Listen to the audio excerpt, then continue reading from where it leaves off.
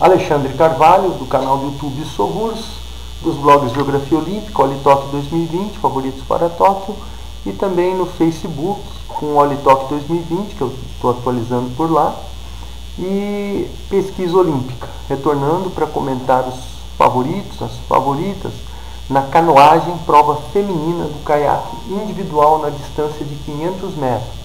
Lembrando que as mulheres estrearam nos Jogos Olímpicos na canoagem em 1948, nessa prova individual dos 500 metros. O, vamos analisar o ciclo olímpico 2017 a 2020 e apontar as candidatas ao pódio para esses Jogos Olímpicos de 2021 em Tóquio. Em 2017, a grande competição foi o Campeonato Mundial, teve a vitória da bielorrussa, a Volka Rutsenka, que derrotou a neozelandesa Liza Carrington, e que ficou com a medalha de prata, e a dinamarquesa Emma Jorgensen foi a medalhista de bronze. A Carrington foi medalhista de bronze nos Jogos Olímpicos de 2016 e a Emma Jorgensen foi a medalhista de prata. Então esse feito da Volka Rutsenka da Bielorrússia foi notável por derrotar duas medalhistas olímpicas. Nas demais posições, a alemã Sabrina Hering, a russa Helena Aniushina, tanto a Alemanha quanto a antiga União Soviética tiveram uma grande tradição nessa prova. Depois Sérvia, Portugal, Eslováquia e Austrália. Indo, a, aqui a ausência da húngara, né, da Nuta Kozak, que é simplesmente a bicampeã olímpica da prova. Em 2018, falando nela aqui, ó. Em 2018, o Campeonato Mundial, a Danuta Kozak conquistou a medalha de ouro. A Liza Carrington, da Nova Zelândia, novamente ficou com a medalha de prata, mas dessa vez superou a Volka Rutsenka, da Bielorrússia, que havia sido a campeã mundial em 2017. A quarta colocação foi para a polonesa Ana Pulavska, e o quinto lugar para a Rússia, Helena Yanushina. A Stêncios da Suécia, Burner da Austrália, Starovic da Sérvia Miladkova da Eslováquia completaram a final. Curioso notar a, como a prova ficou dividida né, entre essas quatro primeiras colocadas, que fizeram marcas abaixo de 1 minuto e 50, e as demais competidoras. É, por aí já se delineava quais eram as candidatas, né, quem são as candidatas ao pódio para 2020. Lógico que poderia já haver surpresas, mas esse grupo foi se mantendo na condição de principais competidoras do mundo. Em 2019, no Campeonato Mundial, a Liza Carrington finalmente conquistou a medalha de ouro, derrotou a Volga Rudsenka, a campeã mundial de 2017, e agora em 2019 ficou com a medalha de prata, e a Danuta Kozak, da Hungria, campeã mundial em 2018, ficou com a medalha de bronze. É uma diferença muito grande entre as competidoras. A Carrington colocou quase dois segundos em cima da Rutsenka e a Rutsenka e a Kozak ficaram ali lutando pela medalha de prata e bronze. Já a quarta colocada, a Milik Starovic, ficou a mais de um segundo da, da húngara.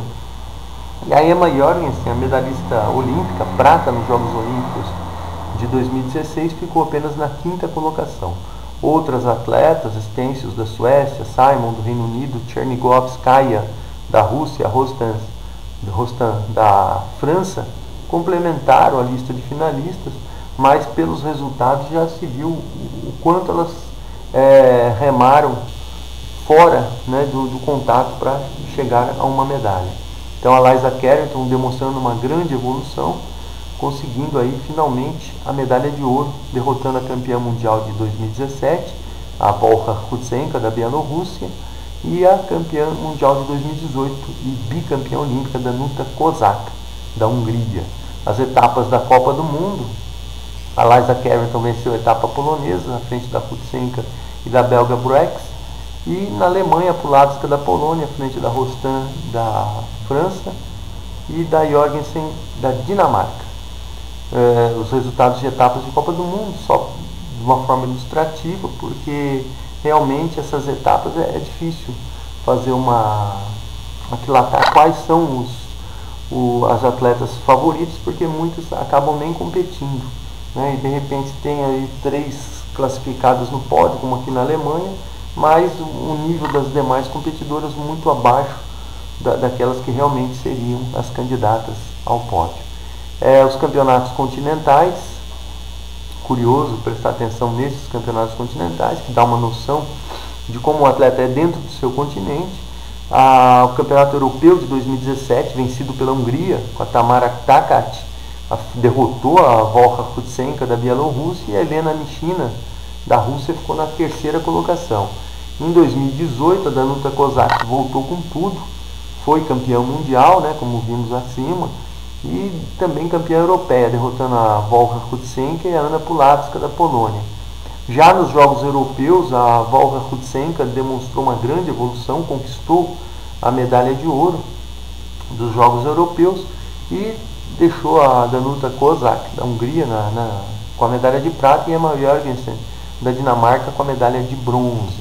Olha só a hegemonia né, de Bielorrússia e Hungria na prova, no, dentro do continente europeu, a hegemonia dos dois países, deixando outros países com, as, com a medalha de bronze e demais classificações.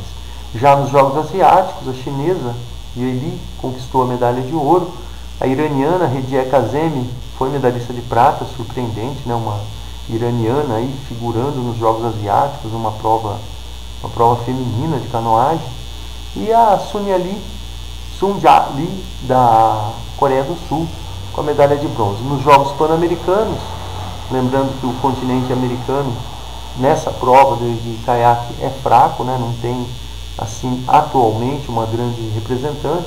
Teve a Caroline Brunet, que já foi medalhista olímpica do Canadá lá para os anos 2000, mas agora está é, carente né, de uma atleta de nível sim para brigar por medalha. Mas tem a Beatriz Briones, campeã pan-americana, à frente da Langlois do Canadá, e a brasileira Ana Paula Vergudes, que disputou os Jogos de 2016 no Rio de Janeiro, ficou com a medalha de bronze.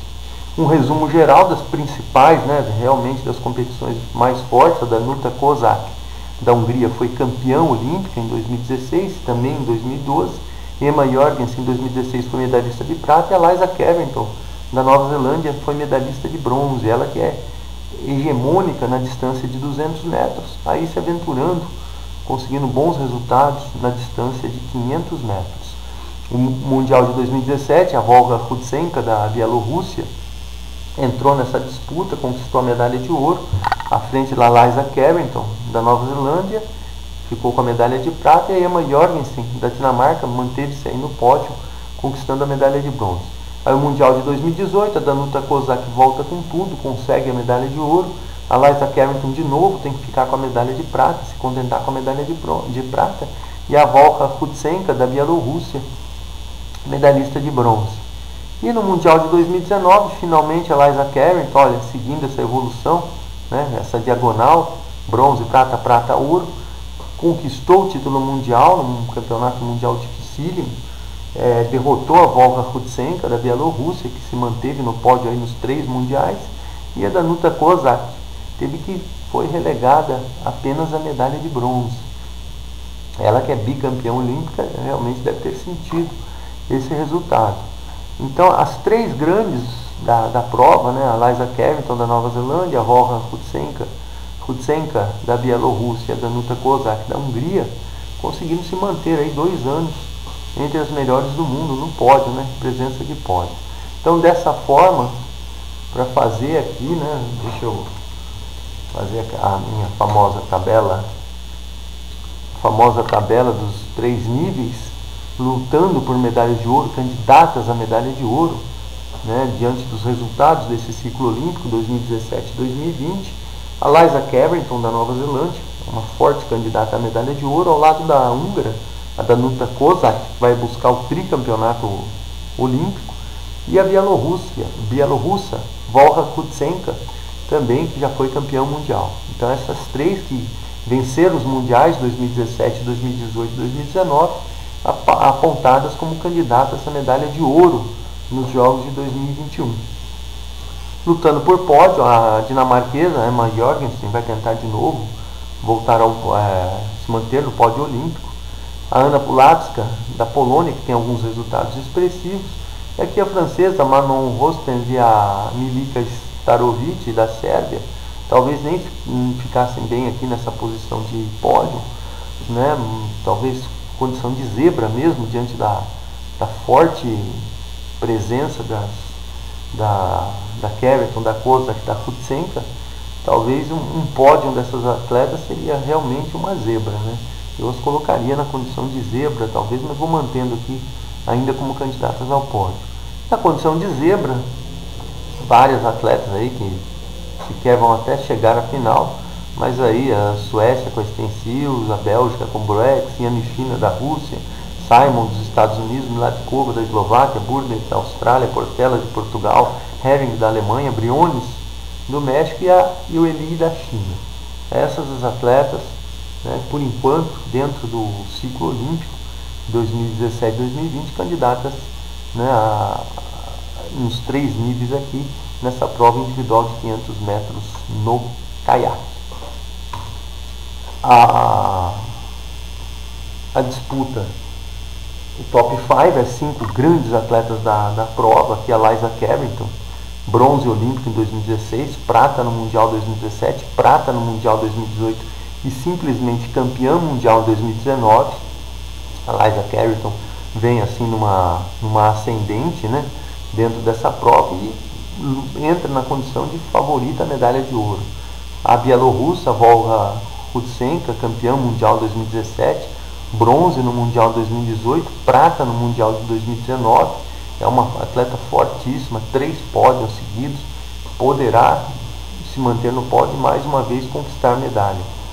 A Danuta Kozak, simplesmente a bicampeã olímpica, campeã olímpica em 2012, campeã olímpica em 2016, campeã mundial em 2018 e bronze no Mundial 2019 é, Danuta Kozak enfrenta uma grande, uma grande adversidade aí com a, com a Kutsenka e com a Liza Carrington. A Liza Carrington evoluindo muito aí, tentando acabar com a hegemonia da húngara nessa prova.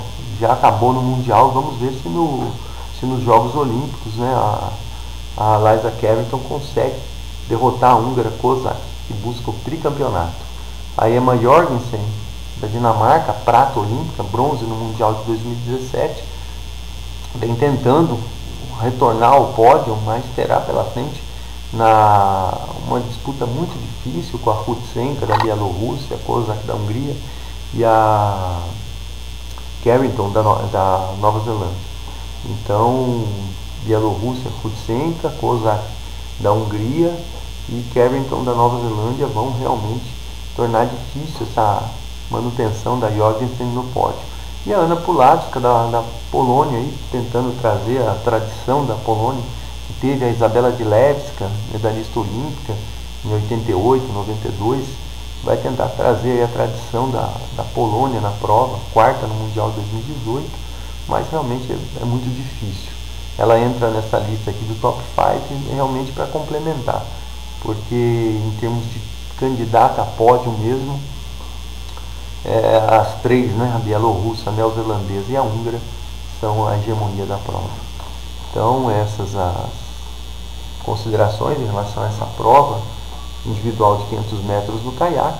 Alexandre Carvalho, canal do YouTube Sovus, os blogs Geografia Olímpica Olitalk 2020 também no Facebook com Olitalk 2020 e, e Pesquisa Olímpica. Eu espero que tenham gostado. Obrigado. Até um próximo vídeo.